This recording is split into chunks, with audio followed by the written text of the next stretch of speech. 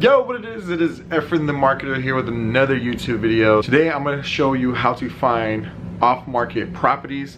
This is one campaign that we're currently doing for Offer Home and it might work for you. So we're currently running some EDDM campaigns. We're trying something new versus just direct mail. So we're sending a Spanish uh, mailer to their house as well, English on the other side, but we're really targeting a specific zip code. This one we're targeting 85041 and um, we're sending out 4,355 pieces to just this zip code. It's around this place called Hayden Park. And so we did a little bit of research and it looks like this might work really well in that area. So we're gonna launch these in the hopes of getting a call the phone number on the EDDM campaign, what happens is it's being tracked by CallRail.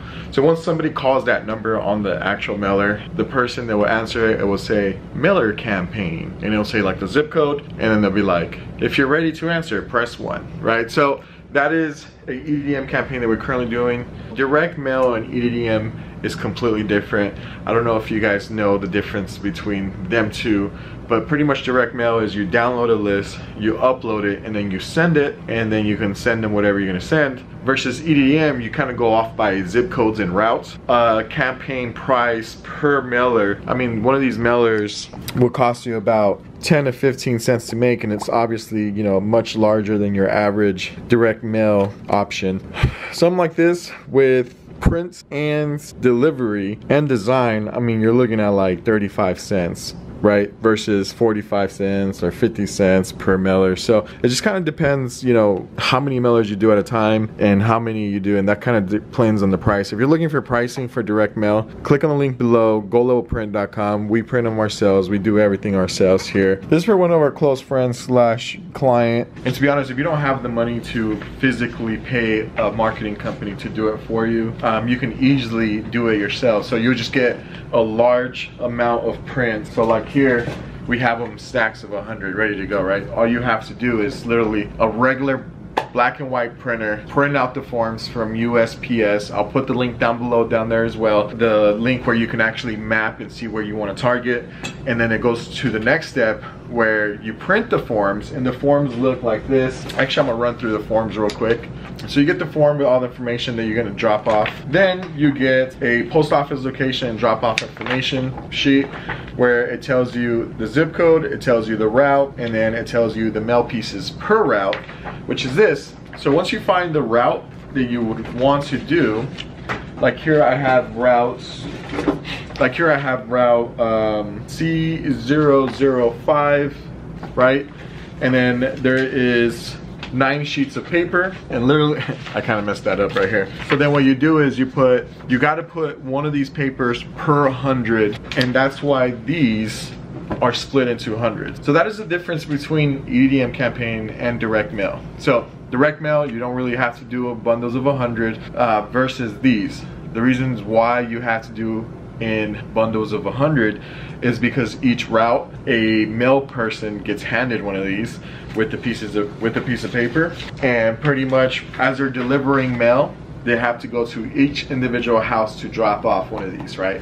And again if you do it yourself and you just get it printed through us or anywhere else, you'll be paying 19 cents per delivery versus a physical direct mail campaign, you'll be paying 30 cents, 35 cents per piece versus 19 cents. So you're almost, I mean, it's almost costing you twice as much, right? One of these little pieces of paper, actual uh, flyer can cost you anywhere, depending on how many you print, can cost you two, three, four cents, five cents Again, depending if you print 5,000, 100, 200, just depends on the pricing, right? But like this campaign right here itself, easily five cents per mailer. And plus the 19 cents, plus our fee, I mean, it'll still be cheaper than direct mail. It just depends if it's as effective. Again, it doesn't matter how much cheaper it is. What matters is how effective it is versus direct mail. So we're launching this campaign, putting it together today, Friday, dropping it off on Monday, paying for it on Monday, will be delivered on Tuesday and Wednesday. If you're doing direct mail, do it where it gets dropped off Tuesdays, Wednesdays, or Thursdays. I'll tell you the reason why you don't want to shoot it out during the weekend. Because on the weekends you get a lot of junk mail. a lot of people also don't check their mail. Saturday and Sunday, people don't check their mail, or Sunday, the mailman doesn't work, right? So when it comes down to Monday, physical Monday, somebody goes checks their mailbox, what do you think is gonna happen? There's gonna be a, ton of mail, not just from you, but from your local pizza shop, your Safeway, your um, Walgreens, your uh, Walmart, and their bills. So they're gonna, instead of getting a stack with really minimal mail, now they're getting a stack of 15, 20, 30 pieces additional than usual, right? So um, again, you do have to get them stacks of 100. You can use rubber bands or you can use these little pieces of plastic that we do. We do offer the option for us to bundle it for you. And uh, it's so easy. If you don't have the budget to pay somebody, just get it printed, uh, get it printed and add the, the piece of paper yourself. You do the drop off and you do everything pretty much. This is how you gotta deliver it. Simple. Throw it in there, throw it in a box, and then move on to the next one.